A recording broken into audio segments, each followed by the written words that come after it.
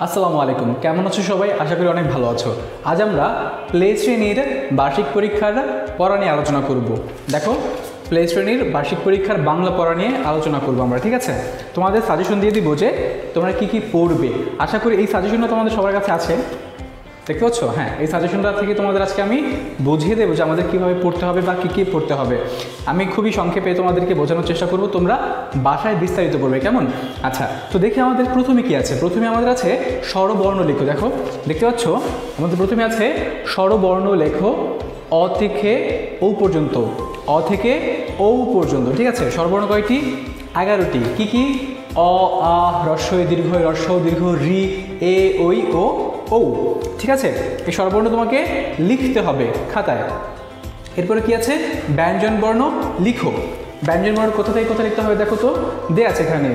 ক থেকে চন্দ্রবিন্দু পর্যন্ত। তোমরা জানো আমাদের ব্যঞ্জন বর্ণ কয়টি? হ্যাঁ এই তোমাদের বইয়ে দেওয়া আছে না? এই যে, ক থেকে চন্দ্রবিন্দু পর্যন্ত আমাদের ব্যঞ্জন বর্ণ আছে উনচল্লিশটি। কেমন? আমরা সেগুলো মুখস্থ করে ফেলব। চলো আমার সাথে একবার তোমরা রিপিট করো। ক, খ, গ, ঘ উ চ, ছ, জ, ঝ ইয় ট, ঠ, ড, ঢ, মূর্ধন্য ন। ত, থ, দ, ধ, দন্ত ন। এরপরে কি আছে? প, ফ, ব, ভ, ম। অন্তস্থ জ। বয়শূন্য র, ল, তালব্যস্য, মূর্ধন্যস্য, দন্তস্য, হ ডয়বিন্দু র ঢয় বিন্দু র, অন্তস্থ, অ, খণ্ডত্ব, অনুসার, বিসর্গ এবং চন্দ্রবিন্দু। ওকে তো এই ছিল তোমাদের কি ব্যঞ্জন বর্ণ? তোমরা এগুলো সবাই মুখস্থ করে ফেলবে এবং পড়বে, কেমন? এরপরে আছে তোমাদের শূন্যস্থান পূরণ করে। দেখো শূন্যস্থান পূরণ ক থেকে চন্দ্রবিন্দু পর্যন্ত। এটা তোমরা কীভাবে পড়বে জানো তোমরা? ধরো, এই যে, এখানে কি দেওয়া আছে? দেখতে পাচ্ছ? ক দেওয়া আছে, তারপরে খালি ঘর তারপরে গ দেওয়া আছে, তারপরে খালি ঘর তারপরে হচ্ছে উঁও এইটাই হচ্ছে তোমাদের শূন্যস্থান পূরণ করা। অর্থাৎ একটা লেখা থাকবে বর্ণ, পরের বর্ণটা খালি থাকবে। তোমাকে গেস করতে হবে যে এখানে কী বসতে পারে। ঠিক আছে? আমরা তো সবাই যেহেতু মুখস্থ করে ফেলছি, তাই আমরা সবাই জানি যে কয়ের পরে কি হয়? খ হয়। তাহলে খালি ঘরে কি হবে? খ হবে। এরপর কি দেওয়া আছে? গ দেওয়া আছে। গয়ের পরে কি হয়? ঘ হয়। অর্থাৎ তোমাদের এইরকম যে খালি ঘরগুলো আছে, এই খালি ঘরগুলো পূরণ করতে হবে। পরীক্ষার হলে তুমি দেখবা, যে প্রশ্ন আসছে, একটা বর্ণ দেওয়া আছে, আরেকটা বর্ণ খালি। তোমাকে খালি ঘরটা পূরণ করতে হবে যে একটা বর্ণের পর কোন বর্ণটা হবে। সো সবাইকে মুখস্থ জানতে হবে। কেমন? আচ্ছা। এরপরে আছে তোমার স্বরচিহ্নের ব্যবহার মানে শিখি। স্বরচিহ্ন কোনগুলো? তোমরা কি জানো? যে স্বরচিহ্ন কাকে বলে? এই দেখো। এই যে একটা স্বরচিহ্ন, এই যে একটা স্বরচিহ্ন, এই যে একটা স্বরচিহ্ন, অর্থাৎ স্বরবর্ণ আছে না? স্বরবর্ণের সংক্ষিপ্ত রূপকে আমরা স্বরচিহ্ন বলছি। এটা কি বলতো? এটা আকার, এটা হ্রস্বইকার এটা দীর্ঘিকার। এগুলোর ব্যবহার শিখতে হবে। কেমন ব্যবহার? চলো আমরা ক লিখলাম। এই কয়ের সাথে আমরা এগুলো কীভাবে ব্যবহার করব? কয় আকারে কা, কয় রস্যিকারে কি, কয় দীর্ঘিকারে কি কয় রস্যকারে কু, অর্থাৎ আমাদের যে স্বরচিহ্নগুলো আছে দশটা, এই দশটা স্বরচিহ্ন কীভাবে ব্যবহার করতে হয় সেটা আমাদের জানতে হবে। এখানে কি আছে দেখো তো? গয়াকারে গাদে আছে, গৌ পর্যন্ত পড়তে হবে। অর্থাৎ মানে গয়ের সাথে কীভাবে স্বরচিহ্ন ব্যবহার হয় সেটা জানতে হবে। চলো আমরা একটু পড়ি। গয়াকারে গা দিয়ে শুরু করি। গয়াকারে গা, গয় রস্যিকারে গি, গয় দীর্ঘইকারে গি, গয় রস্যকারে গু, গয় দীর্ঘকারে গু, গয় রিকারে গ্রি এরকম করে আমরা প্রত্যেকটা পড়ে ফেলব। কেমন? এরপরে ঘ আছে। দেখো ঘ। কি আছে? ঘ। ঘটা কীভাবে পড়বা? ঘয় আকারে ঘা ঘয় রসিকারে ঘি লিখে দিই হ্যাঁ? চলো। ঘ লিখি। ঘয় আকারে ঘা ঘয় রসিকারে ঘি ঘয় দীর্ঘিকারে ঘি। আমার হাতের লেখা খুব বাজে, বুঝছ? তোমরা বুঝে নিও। আচ্ছা ঘয় দীর্ঘিকারে ঘি, ঘয় রসুকারে ঘু, ঘয় দীর্ঘকারে ঘু, ঘয় রিকা, ঘৃ। তারপরে কি আছে বলো? ঘয়েকারে ঘে। এরকম করে আমাদের যে দশটা আছে প্রত্যেকটার সাথে কি করবা তুমি? প্রত্যেকটার সাথে এভাবে বলে যাবা গয়কারে গে গয়কারে গই, গ ওকারে গো, গ ঔকার গৌ। ওকে? আচ্ছা যদি কোনো সমস্যা হয় বুঝতে আব্বুকে তো আম্মুকে জিজ্ঞেস করবে, তারা তোমাকে হেল্প করবে, কেমন? আচ্ছা এখন চলে যাই আমরা পরবর্তী পড়ায়। পরবর্তী পড়াটা কি জানো? পরবর্তী পড়াটা আছে কার চিহ্ন দিয়ে শব্দ লেখো, কার। অর্থাৎ কিছু কার্ড তোমাকে দেওয়া থাকবে, এগুলোতে শব্দ লিখতে হবে। কী কী কার্ড দেওয়া আছে দেখো তো? এই যে, রিকার, দেখতে পাচ্ছ?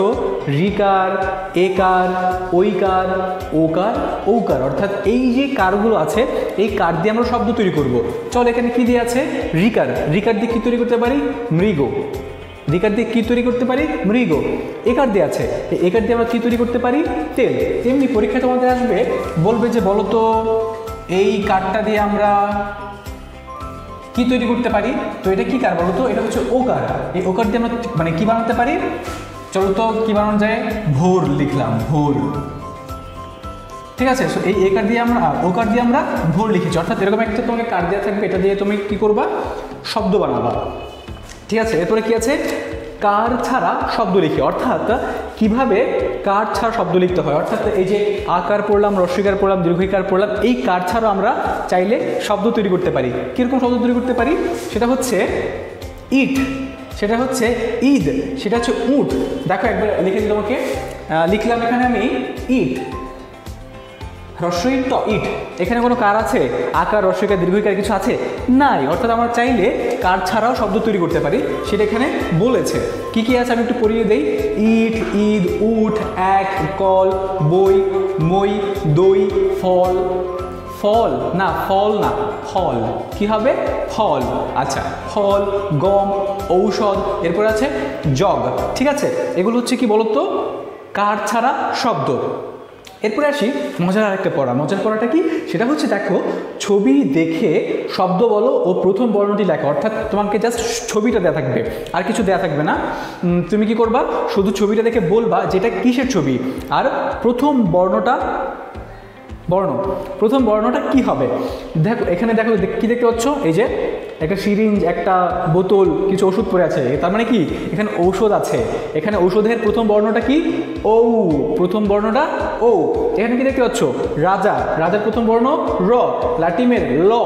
শাপলা, তালুবর্ষ, সিংহ, দন্তস্ব, হাতির হ, ঘয়ে ঘুড়ি, ঘ, এরপর কি আছে? ময়ূর, ম হবে, চিংড়ি আছে, চ হবে, কলা আছে, ক হবে। অর্থাৎ কোনো একটা ছবি তোমাকে দেখতে হবে, দেখে তোমাকে বলতে হবে যে এই ছবিটার প্রথম বর্ণটা কি হয়।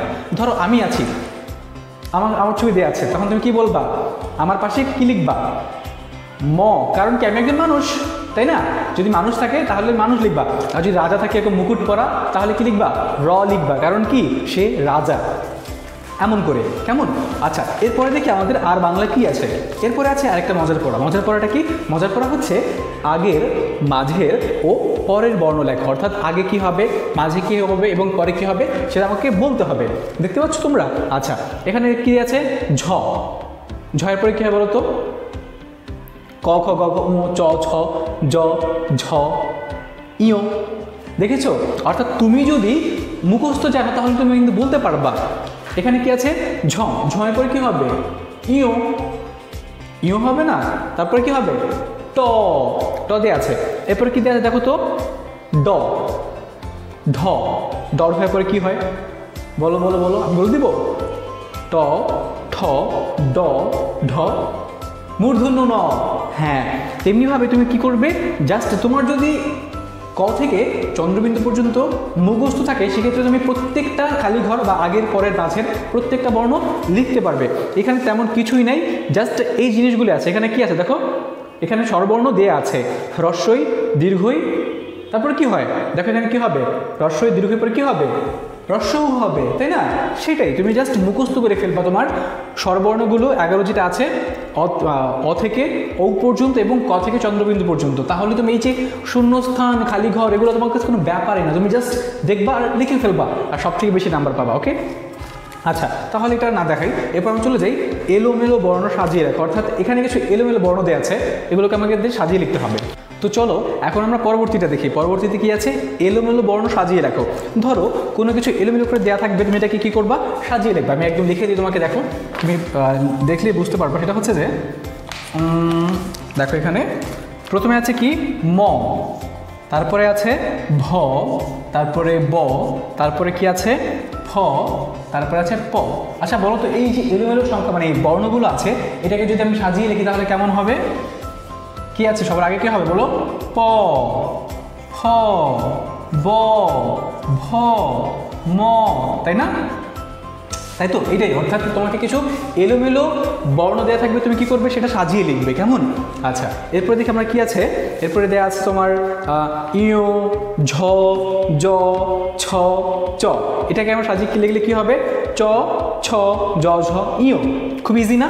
তোমার প্রথম কাজটা কি? তোমার প্রথম কাজটাই হচ্ছে তাহলে মুখস্থ করে ফেলা। তুমি যদি ক থেকে চন্দ্রবিন্দু পর্যন্ত এবং স্বরেও থেকে, অর্থাৎ অ থেকে অ থেকে ও পর্যন্ত মুখস্থ করে ফেলো, তাহলে তোমার কি করতে হবে? এই যে এলোমেলো বর্ণ আছে, তারপর তোমার শূন্যস্থান আছে, আগের, পরের, মাঝের ঘরে কি লিখতে হবে সেগুলো আছে, তোমরা সব পারবা। তোমার কি করতে হবে? জাস্ট এই দুইটা জিনিস মুখস্থ করতে হবে। স্বরবর্ণগুলো এবং ব্যঞ্জন বর্ণগুলো ওকে আচ্ছা এরপরে আমরা চলে যাই ছবি দেখে বর্ণমিলকরণ এখানে তোমার কী দেওয়া আছে? ছবি দেওয়া আছে। এখানে তুমি দেখতে পাচ্ছ, ছবি দেওয়া আছে। কিসের ছবি? কাঁঠাল। কাঁঠালের প্রথম বর্ণটা কী হবে? ক হবে। অর্থাৎ ছবি দেখে বর্ণের মিল করো না। আমরা ছবি দেখব এবং এর সাথে কোন বর্ণটা মিলে বা কোন বর্ণটা যায় সেটা আমরা মিলিয়ে ফেলব। কেমন? আচ্ছা দেখো, এখানে কি আছে? টিয়া, ট, ডিম ডগ হরিণ, হ, আম, আ তারপর কি আছে? ঘুড়ি, ঘ। এরপর এটা কি? নৌকা, ন। এরকম করে তুমি কি করবে? ছবির সাথে বর্ণগুলা মিলিয়ে ফেলবে। আচ্ছা এখন চলে আসে আমরা মৌখিকে।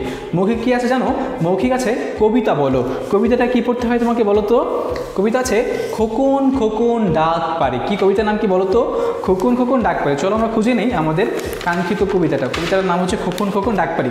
চলো, আমি একটু পড়িয়ে দিই তোমাদেরকে। শুরু করছি। কবিতাটার নাম হচ্ছে খোকন খোকন ডাক পারি কবিতাটা কি? কবিতাটা হচ্ছে খোকন খোকন ডাক পারি চলো আমরা শুরু করি। খোকন খোকন ডাক পারি খোকন মোদের কার বাড়ি? আয় রে খোকন, ঘরে আয়। দুধ মাখা ভাত কাকে খায়? দুধ মাখা ভাত কাকে খায়? অর্থাৎ খোকন নামের একটা ছেলেকে ডাকছে তার আম্মু, সে বাইরে গেছে। তাকে খাওয়ার জন্য সে মানে তার আম্মু ডাকতেছে। কেমন? খুব মজার একটা গল্প। মানে কবিতা। তুমি কি করবে? এটা বারবার পরে মুখস্থ করে ফেলবে। তোমাকে এটা প্রশ্ন করা হবে। আচ্ছা এরপর চলে যাই, কী কবিতা আছে? এরপরে আছে পন কবিতা, পন। কি কবিতা আছে বলো তো? পন কবিতা আছে। চলো, আমরা পন কবিতাটা একটু পড়ি। পন, মিছা কথা বলব না, অসৎ পথে চলবো না, চাঁদের মতো হাসবো, দেশকে ভালো বাসবো। মানে কত সুন্দর একটা কবিতা। আমি আর- আবার- আরেকবার পড়ছি হ্যাঁ আমার খুব ভালো লাগছে। চলো, আরেকবার পড়ি। কবিতার নাম পন। মিছা কথা বলব না, অসৎ পথে চলবো না চাঁদের মতো হাসবো, দেশকে ভালো বাসবো মানে কত সুন্দর একটা কবিতা। আচ্ছা এরপরে কি আছে? আতা গাছে আতা গাছে মানে কবিতার নাম হচ্ছে আতা গাছে চলো, পড়ি। আতা গাছে তোতা পাখি, ডালিম গাছে মৌ, এত ডাকি তবু কথা কও না কেন বউ। কত সুন্দর একটা মিষ্টি কবিতা। এরপরে কি আছে? শীতের পিঠা। কি আছে? শীতের পিঠা। চলো, আমরা একটু পড়ি।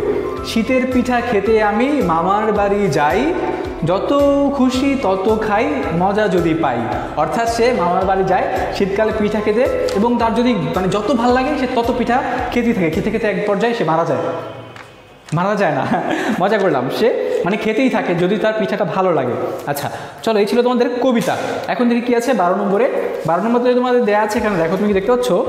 এই যে দেখো তো, বর্ণ দিয়ে শব্দ বা বাক্য বলো। বর্ণ দিয়ে তোমাকে কি করতে হবে? শব্দ বা বাক্য বলতে হবে। বর্ণ কি আছে? বর্ণ দেওয়া থাকবে তোমার অ থেকে ও পর্যন্ত, ঠিক আছে? এবং ক থেকে চন্দ্রবিন্দু পর্যন্ত। অর্থাৎ এই যে তোমার বর্ণগুলো আছে, এইখান থেকে এখানে এবং এখান থেকে এখানে যে কোনো বর্ণ দেওয়া থাকতে পারে। তোমাকে কি করতে হবে? এই বর্ণগুলো দিয়ে শব্দ বানাতে হবে। এই বর্ণগুলো দিয়ে কি করতে হবে? বাক্য বলতে হবে। তোমাকে বলা হলো, ক দিয়ে একটি শব্দ বলো। ক দিয়ে তো আমি ক দিয়ে কী বলতে পারব? বলো তো ক দিয়ে ক দিয়ে ক দিয়ে ক দিয়ে ক দিয়ে কলা।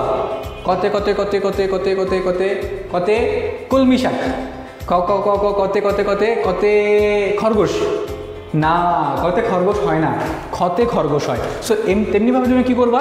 এই যেই বর্ণগুলো আছে, এই বর্ণগুলো দিয়ে কীভাবে শব্দ তৈরি করতে হয়, সেটা খুঁজে খুঁজে বের করবে এবং সেটা পড়বা কেমন? এটা যদি তোমাকে বাক্য বানাতে হতে পারে। যদি বলে, ক দিয়ে একটি বাক্য তৈরি করো অথবা খ দিয়ে একটি বাক্য তৈরি করো, কীভাবে করবে ধরো, ক দিয়ে একটা শব্দ বলি, ক দিয়ে একটা শব্দ। না, ক দিয়ে না, খ দিয়ে খ দিয়ে একটা শব্দ বলি, খই খই খই একটা খাবার হ্যাঁ? সো খইটাকে তুমি কীভাবে খাও?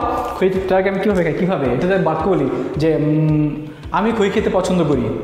আমি খই খেতে পছন্দ করি, সেটা হচ্ছে একটা বাক্য। তেমনিভাবে তুমিও বাক্য বলবা। আচ্ছা এরপরে কি আছে? পাঁচটা মাছের নাম, পাঁচটা রঙের নাম বলতে হবে। তোমরা পাঁচটা রঙের নাম বলতে পারবা? পাঁচটা মাছের নাম বলতে পারবা? পারব না? চল, তোমাকে হেল্প করি। পাঁচটা মাছের নাম হচ্ছে রুই, কাতল, ইলিশ বোয়াল শিং রুই কাতল, ইলিশ, বোয়াল শিং তুমি চাইলে অন্য কোনো মাছের নাম দিতে পারো, কিন্তু রুই কাতল শি- ইলিশ, বোয়াল এই পাঁচটা মাছ খুব ভালো। আচ্ছা এরপরে বলি রঙের নাম। তুমি কি জানো রং ধরুন কয়টা রং থাকে? অনেক বড়, অনেকগুলো, তাই না? সেই রং ধরুন থাকে সাতটা রং। কিন্তু আমি এখানে কয়টা রং বলব? পাঁচটা রং। কী কী রং আছে বলো তো? লাল, নীল, হলুদ, সবুজ। কমলা, লাল, নীল, হলুদ, সবুজ, কমলা। সো এই ছিল তোমাদের বাংলা পড়াটা। কী পড়া পড়ালাম বলতো? আজকে আমরা তোমাদের তৃতীয় সেমিস্টার বা ফাইনাল পরীক্ষার বাংলা সাজেশনটা বললাম। তোমরা হচ্ছে প্লে শ্রেণি ওকে সো তোমরা আশা করি খুব ভালোভাবে এটা পড়বে, নিজেদের খেয়াল রাখবে, সুস্থ থাকবে এবং অনেক অনেক অনেক বেশি পড়াশোনা করবে। সবাই ভালো থেকে, সুস্থ থেকো। আল্লাহ হাফেজ। আসসালামু আলাইকুম।